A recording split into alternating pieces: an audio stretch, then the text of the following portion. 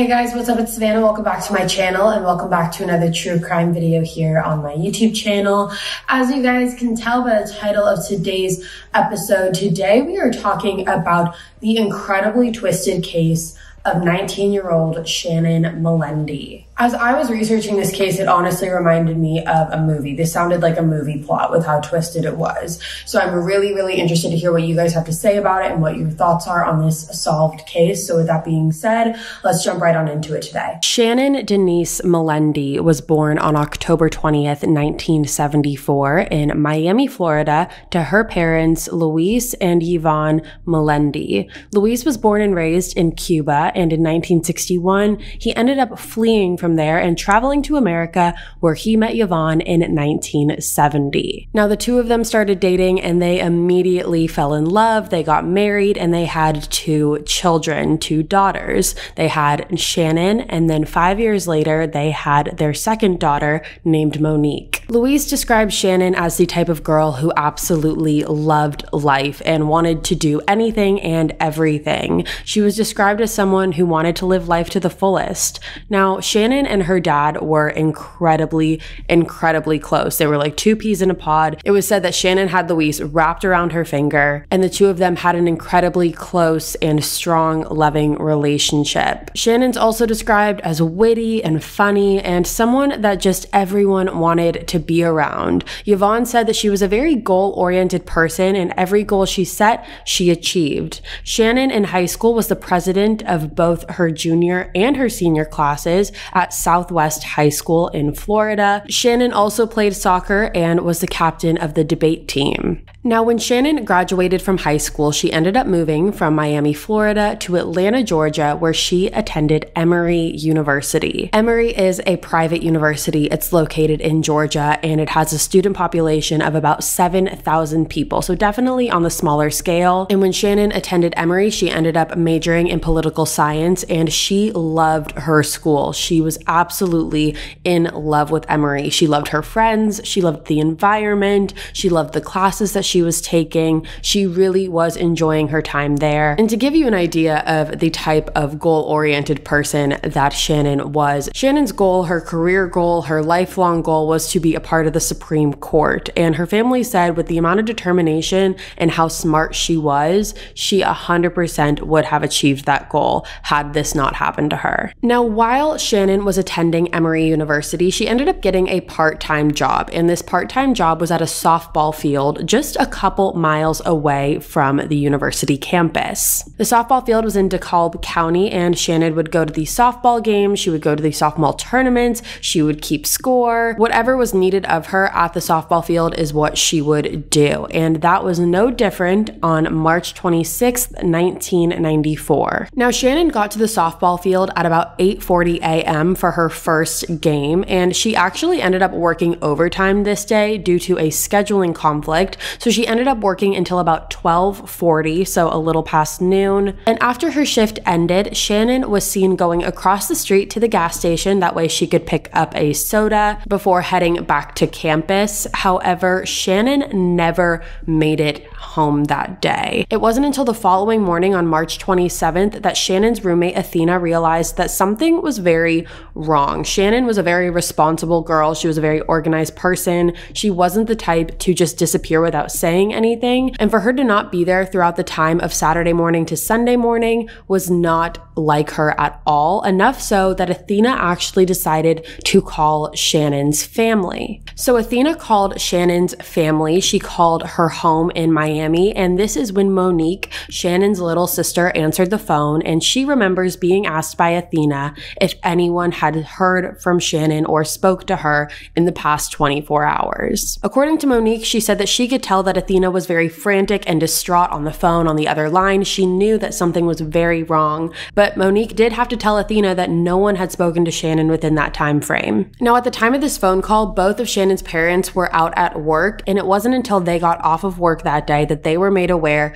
that Shannon was missing. Now, Shannon's family said that the moment that they found out that Shannon was missing, they knew that this was not going to end well. After speaking with Monique, Athena decided the best thing to do would be to go out and actually look for Shannon herself. So, her and two of their other friends decided to get in the car and start driving around, and they ended up driving down to the softball field. Now, when they got to the softball field parking lot, they ended up making a wrong turn, which forced them to turn around in a way where they then passed the gas station that Shannon was last seen at. And that is when Athena discovered Shannon's car parked in the gas station parking lot. Shannon drove a black 280 SX Nissan car, and when Shannon's car was found, the keys were still in the ignition and the car was unlocked locked. Now, something to know about Shannon is that her car was her pride and joy. She absolutely loved her car. Her family said it was almost like a running joke of how good of care Shannon took of her car. She was always very responsible with it and she never took it for granted. She would absolutely never leave the keys in the ignition and the car unlocked. So, because Athena knew all of that, she knew that finding Shannon's car in this condition was a very, very worrisome and troubling sign, so much so that she decided to call 911. Now, when authorities arrived on the scene, they actually didn't find anything that could have suggested that there was any foul play in regards to Shannon's disappearance. Because there was no blood in the car and there was no sign of a struggle and there really wasn't anything that looked out of the ordinary, police decided the best thing to do would be to have Athena drive the car back to Emory. Now, this is bad for multiple reasons. First, being that it completely contaminates any possible evidence that was inside of the car. You're contaminating evidence of a crime scene. Police told Athena to drive the car before taking any possible fingerprints or DNA. So, automatically, that really does contaminate with the biggest part of the investigation at this point. However, Athena did what authorities said and she drove the car back to Emory. Now, when this investigation started, authorities thought it was very, very possible that Shannon could have just run away. There was no sign of a struggle in the car, there was no blood, no one had seen or heard from her, and she was an adult, so technically she could run away if she wanted to. And at first, they were really leaning more towards that theory rather than the second one, which was that she just was abducted in plain sight. However, Shannon's family knew without a shadow of a doubt that Shannon did not run away on her own free will. She did not just up and leave. Her family said she had no reason to run away, she had nothing to run away from.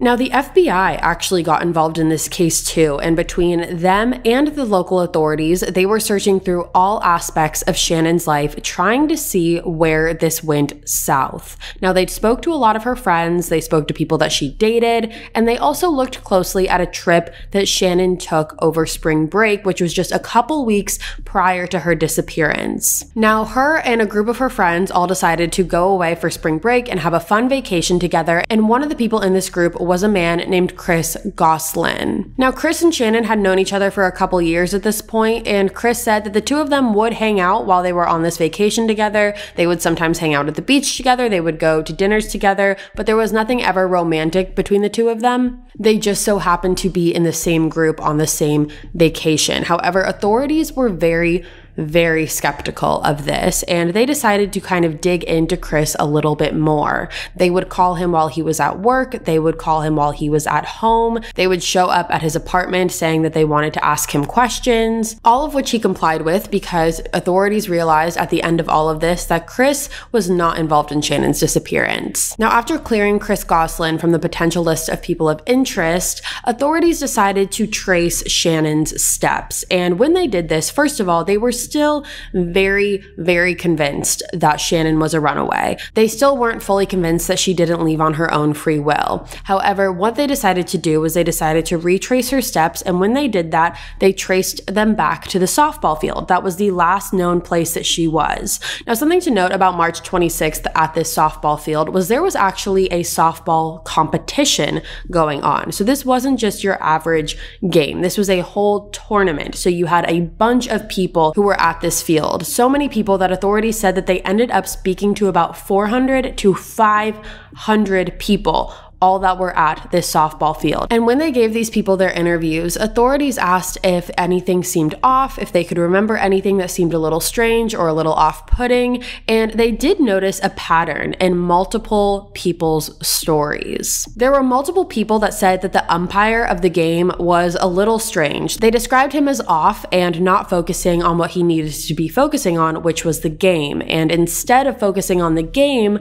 many people noticed that his focus was on Shannon. Shannon was situated right behind home plate, which, if you know anything about a baseball field, you know that the umpire is typically behind home plate. And Shannon was situated behind the fence of home plate, so they weren't very far from each other. Now, authorities learned that this umpire was named Colvin Hinton, otherwise known as Butch, which is what we will be referring to him as. Butch Hinton was an avid churchgoer. His dad was a pastor, and he worked as an airline maintenance worker for Delta Airlines. Now, after learning all of this information about Butch, authorities decided that obviously the next best thing for them to do would be to go and speak with him themselves. So, just several days after Shannon's disappearance on April 4th, 1994, authorities made their first visit to speak with Butch. Now, when talking to Butch, he said that he was aware that Shannon had gone missing, he had heard about it. However, he said he had nothing to do with it. He said that he went directly home after the game, and to confirm his story, he actually actually showed police telephone records because he had made a phone call right when he got home from the game. So because of that, authorities thought that gave him a very narrow time frame. It was very unlikely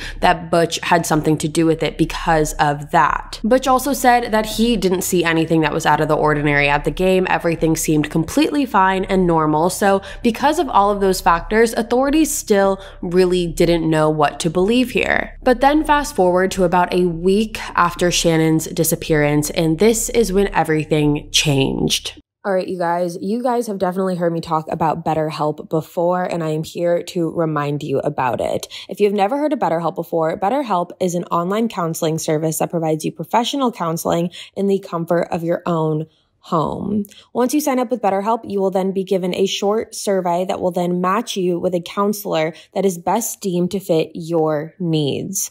BetterHelp has counselors that specialize in so many different areas, including anxiety, depression, grief, LGBTQ plus matters, sleeping problems, family problems, relationship problems, and more. If for whatever reason you're matched with a counselor that you don't think is the best fit, you will be able to change your counselor at any time for no additional charge. Once you connect with a counselor, you'll then be able to set up phone or video sessions, and you'll also be able to text your counselor as well. And financial aid is available for those who qualify. And if you guys want to try out BetterHelp today, you can do so by going to betterhelp.com slash instinct. And when you use the code instinct, you will get 10% off your first month using BetterHelp. Again, that is just betterhelp.com slash instinct for 10% off your first month. betterhelp.com slash instinct. Has there ever been a time where you guys are searching for something online that you wouldn't want others to know about? Personally, for me, when I am searching for gifts for people, for birthdays, anything like that, I do not want anyone being able to see what I have been searching online. And I know most of you are probably thinking, why don't you just use incognito mode? Well, let me tell you something. Incognito mode does not hide your activity. It doesn't matter what mode you use or how many times you clear your browsing history, your internet service provider can still see every single website you've ever visited. That's why even when I'm at home, I never go online without using ExpressVPN. It doesn't matter if you get your internet from Verizon or Comcast or AT&T. ISPs in the US can legally sell your information to ad companies. ExpressVPN is an app that reroutes your internet connection through their secure servers so your ISP can't see the sites you visit. ExpressVPN also keeps all of your information secure by encrypting 100% of data with the most powerful encryption available. Most of the time, I don't even realize I have ExpressVPN on. It runs seamlessly in the background and is so easy to use. All you have to do is tap one button and you're protected. ExpressVPN is available on all your devices phones, computers, even your smart TV. So there's no excuse for you to not be using it. Protect your online activity today with the VPN rated number one by CNET and Wired. Visit my exclusive link, expressvpn.com slash killer, and you can get an extra three months free for a one year package. That's EXPRESSVPN dot com slash killer expressvpn.com slash killer to learn more. Now, I don't know about you, but over the course of the pandemic, my definition of comfort definitely changed. I traded in my jeans for sweatpants and leggings, and honestly, I cannot even tell you the last time I wore heels. Now, as things slowly approach normal life, one thing I'm bringing with me is comfort. I know I can still be comfortable in a bra thanks to Harper Wilde. Harper Wilde makes bras that put comfort first. Their collection of quality Quality Basics includes the base, which is a lightly lined everyday bra in a range of nudes that won't show through your shirt, and the Bliss. That's a bralette that provides lift while feeling like second skin. My favorite bra is their base bra. It's an amazing staple to have, as well as their lounge bra. It's a comfortable bralette that you can wear anywhere. Plus, with an easy interactive fit quiz, beautifully priced bundles, and free returns, they've made the act of shopping for bras absolutely painless. You can even get a handy bra recycling kit with your purchase so you can say goodbye to your old bras sustainably. Harper Wilde makes everything about bras better. Stay in your comfort zone. Go to harperwilde.com slash killer today so you can get 20% off your first purchase because the only thing better than a comfortable bra is getting a discount just for being a Killer Instinct listener. That's 20% off at harperwilde.com slash killer. Harperwilde.com slash killer. Did you guys know that 80% of the immune system is influenced by the gut? or that supporting the immune system through proper diet and digestive health enables pets to help better fight environmental allergies. Solid Gold is passionate about gut health because a healthy digestive system positively impacts the immune system and overall wellness of pets. Solid Gold was the first holistic pet food company in America, started in 1974 by Sissy McGill. You guys, Sissy was an absolute trailblazer and pioneer who disrupted a male dominated industry and created natural pet food before it was cool. Solid Gold's nutritional platform is inspired by their founding belief that high quality food is the best way to impact our pet's mind, body, and spirit. I'll have you guys know my dog recently got extremely sick and it really made me look at the ingredients and the type of food that I was giving him. I ended up switching him over to solid gold and he felt so much better. I could just tell in his overall personality when I would give him the solid gold food, he wasn't as tired. His personality was more alive and he just seemed overall so much better. So it really had me interested in the type of products that we feed our pets and how important it is to feed them good, wholesome products. Solid Gold's foods are different because they cleanse the digestive system with whole superfoods, balance with living probiotics, and fuel with omega-3 and 6 fatty acids supporting gut health and nourishing your pet inside and out. Right now, save 30% on solid gold products by going to solidgoldpet.com slash killer. That's solidgoldpet.com slash killer to save 30% on select solid gold products. Remember, that is just solidgoldpet.com slash killer. Now, there was actually a phone call that came in to the Emory Counseling Center, and a woman who was working at the front desk had actually answered the phone. Now, when the woman answered the phone, there was a man on the other line of the call, and this man asked asked the woman if he was aware of the Shannon Melendi case. Now, apparently, this woman said that she was not aware of the case, which I'm not sure if she genuinely did not know or if she was just playing along. However, she told the man that she was not aware of the case, and she also asked him to explain why he was calling.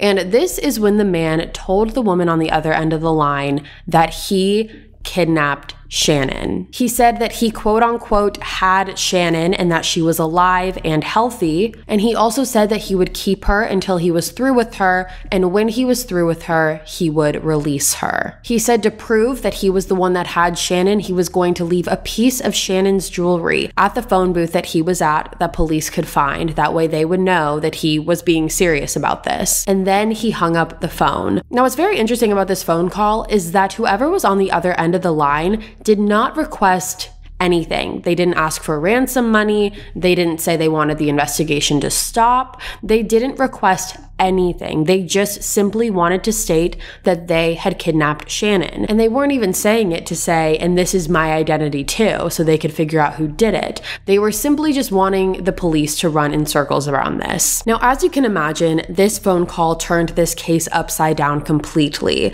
And when it came to Shannon's family, they said that when this phone call happened, there was a sense of relief, surprisingly. And the relief came from the fact that they knew that at this point, police could not say that it was a possibility that Shannon ran away. They knew at this point that authorities would have to believe that she was abducted. So after this phone call, the FBI traced the call back to a telephone booth. And when they arrived at the telephone booth, they found a tiny cloth bag, and inside of this cloth bag was a ring that did in fact belong to Shannon. It was a turquoise ring, it was one that she wore all the time. I believe it was given to her by her godmother, and apparently she wore it every single day, and her family was able to quickly confirm that that was Shannon's. Now, along with relief, what this phone call also brought to Shannon's family was a sense of hope because they thought, with the way that the caller was describing the situation, it was a good possibility that Shannon might possibly still be alive. The person on the other end of the line said she was alive, said she was healthy,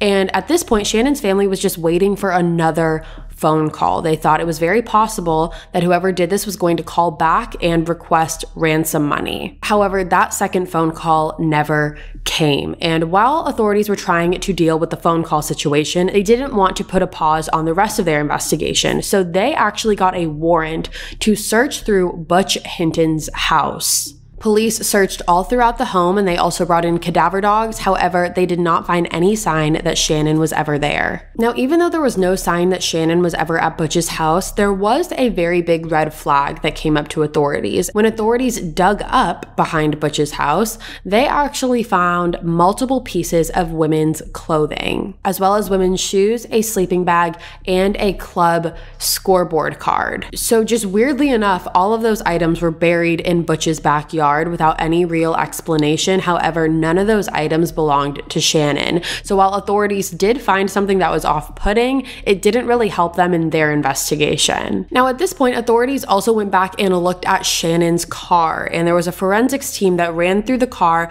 Mind you, again, this was after Athena had already driven it, so it was contaminated. But what the forensics team found was that someone had actually wiped down the car, meaning that more than likely whoever was responsible for this made an effort to clean the car. That way, there would be no traceable DNA. So now we're five months into Shannon's disappearance. There is still no sign of Shannon. However, there are flyers for her hanging up everywhere. Everyone is doing everything they can to find Shannon. And at this point, about five months into the disappearance, like I said, Yvonne ended up getting a phone call from one of her friends. And when she answered the phone, her friend told her that Butch Hinton's house was actually on fire. It was on fire and it completely burned to the ground.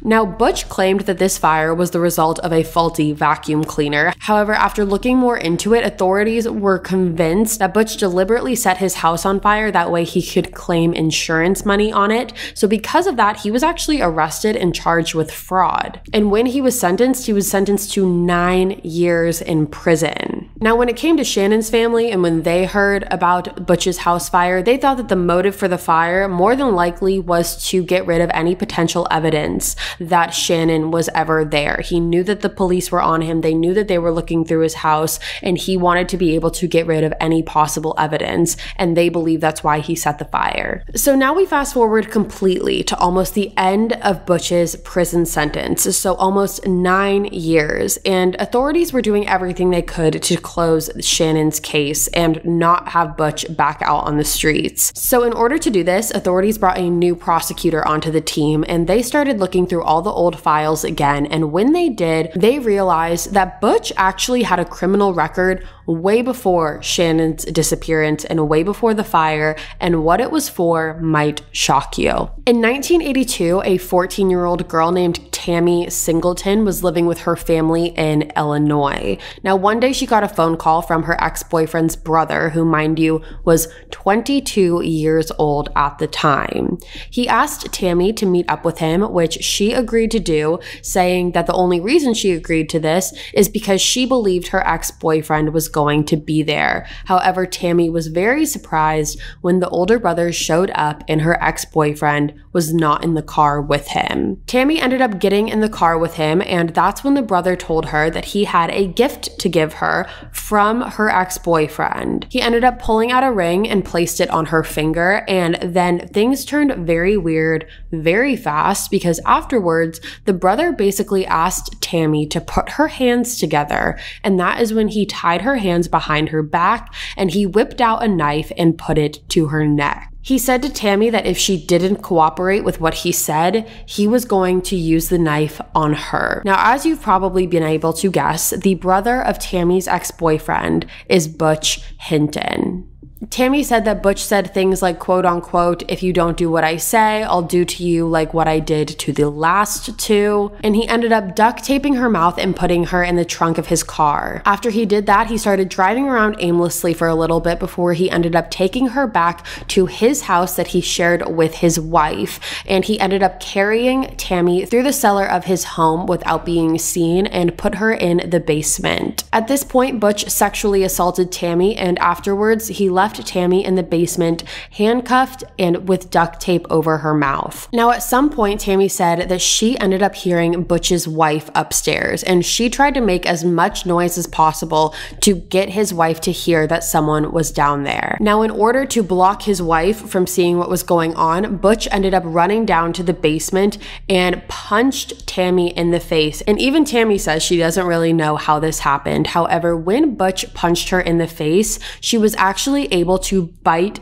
his finger. And when she did that, he ended up screaming, which got the attention of his wife. And she ended up running into the basement and was horrified to see what was going on. His wife ended up calling the police on Butch, and Butch was arrested and charged with kidnapping and indecent liberties with a child. Now, Butch ended up pleading guilty, but he also pled insanity. He was given a four year sentence, however, he only served 21 months of it. And after that, he was a free man. And he basically went on to start a whole new life. He ended up divorcing his wife and he moved to Atlanta, Georgia. Now, how this wasn't picked up on right when Shannon went missing is beyond me. I have no idea how no one picked up on this prior. However, when prosecution did find this out, this obviously helped authorities build a very, very strong case against Butch. Now, Butch was released from prison off the insurance fire case in 2003, and it took police a couple months after that for them to build a case against him. Now, the prosecution learned that the day of Shannon's disappearance, Butch had borrowed his father's butcher saw. Butch's neighbors also complained that on the night of the 26th, Butch was in his backyard burning trash. Now, that, along with everything else, led up to Butch Hinton being arrested in August of 2004 for the murder and kidnapping of Shannon Shannon Melendi. Now, Butch pled not guilty, and this was a very, very hard case from a prosecution angle because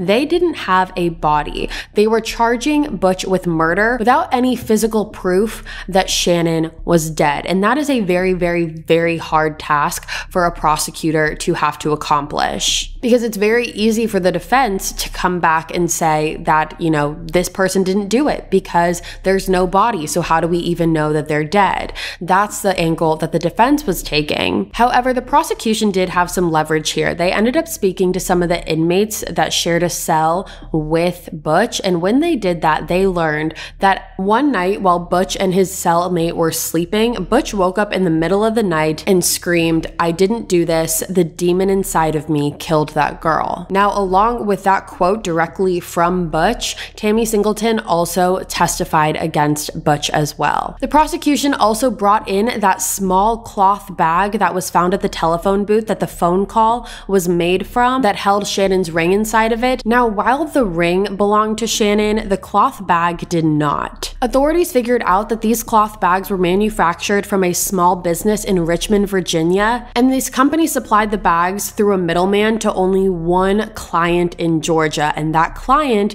was Delta Airlines, the same airline company that Butch worked for. And when authorities showed up to Butch's office and looked through his desk, they found multiple of those cloth bags sitting on his desk. Now, once the trial was all said and done, the jury deliberated for three days before finding Butch Hinton guilty and sentenced him to life in prison. But here is where things get a little tricky. Now, because Shannon's disappearance and murder happened in 1994, the parole regulations were a lot less strict back then, and because of that, Butch is eligible for parole every seven years. He has already been denied parole twice, and his next parole consideration date will be in February of 2025. Now, Shannon's family is not giving up. They are fighting tooth and nail to keep Butch off the street and in prison for the rest of his life for what he did to Shannon. And along with that, Shannon's family and authorities believe there is a very big possibility that Shannon and Tammy were not the only victims of Butch Hinton. With all the random women's clothing that was found in his backyard,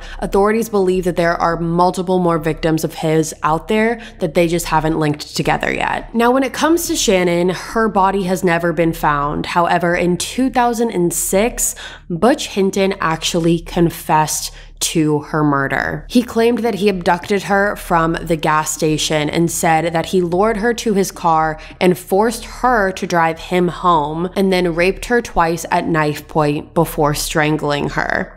Butch said that she didn't put up a fight at all because he told her that he would let her go. And Shannon believed him. However, he ended up strangling her to death on the early morning hours of March 27, 1994. Now, Butch said he ended up strangling her with a tie while Shannon was already asleep and that everything happened very quickly. Now, what this also means, what this confession also means, is that when Butch called the Emory Counseling Center saying that he had Shannon and that he was gonna let her go, that was all a lie. Shannon was already dead at that point. He was simply just taunting the police because he wanted to get some sort of rise and reaction out of them. Butch is currently incarcerated at the Hays State Prison in Underwood Drive, and I think this case is super important because Butch needs to stay in prison for the rest of his life. For everyone's safety, this man does not need to be out on the streets. The fact that that is even up for negotiation is beyond me, but since we're already there, I think it should be very clear that Butch